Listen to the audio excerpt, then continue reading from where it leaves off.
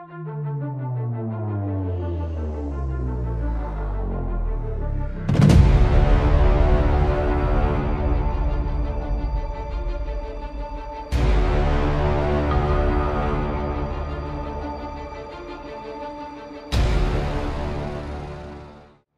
rather unimpressive mock-up, which no one believed, is probably gathering dust in some warehouse. What were Iran's leaders thinking when they presented it to the world?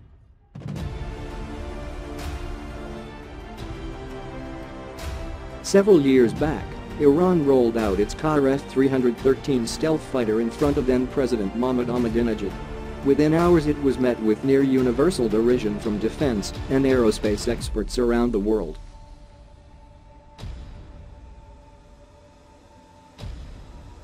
While almost everyone outside Iran saw the project for the farce that it was, Tehran insisted that the project was real and that it was already flying. Further, the Iranian government insisted that the bizarre-looking aircraft, which was allegedly superior to the Lockheed Martin F-22 Raptor and the F-35 Joint Strike Fighter, would become operational in the very near future.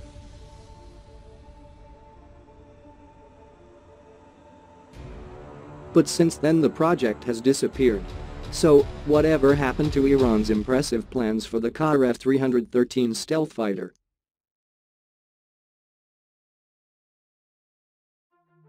The answer is nothing, as with much of Iran's bluster, the Qaher F-313 was a ham-handed hoax. Even at the time, when Iran first showed off the Qaher, it was clear that the mock-up was little more than a poorly executed propaganda stunt engineered for domestic consumption.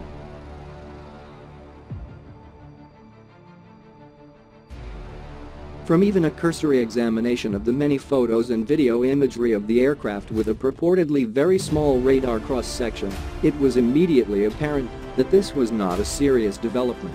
At the very best, it is a subscale test bed.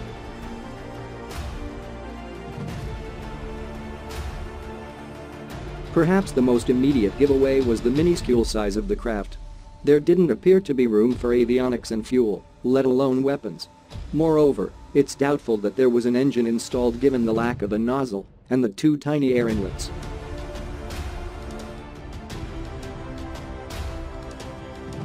The other problem for Iran would have been to find an engine small enough to fit into such a minuscule airframe. Tehran's options seem limited to something like the General Electric J85, which Iran has previously reverse-engineered, but without a nozzle the heat would have likely set this mock-up ablaze.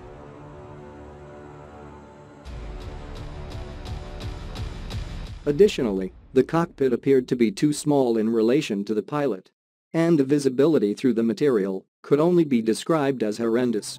The cockpit instruments were amongst the only items in the Qaher F-313 that could be described as real.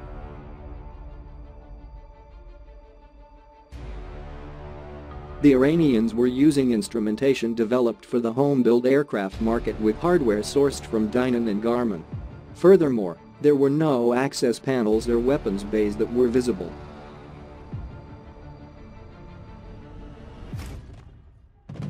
Features such as access panels are found on every aircraft for routine maintenance. In the case of a stealth aircraft, internal weapons bays are necessary in order maintain the jet's low observable signature while carrying armaments.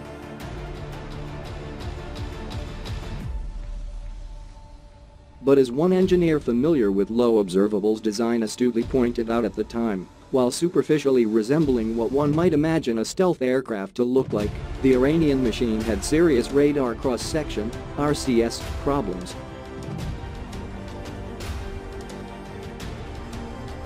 Stealth aircraft design is much more involved than simply mastering the low observable shapes. There are advanced materials sciences that need to be developed for the aircraft skin and coatings. Advanced analytical tools are needed to shape the internal bulkheads and other structures. Moreover, one has to master the man-machine interfaces so that a pilot can manage the aircraft's RCS spikes in flight. There is no evidence, now or back in 2013, that suggests that Iran has mastered those technologies.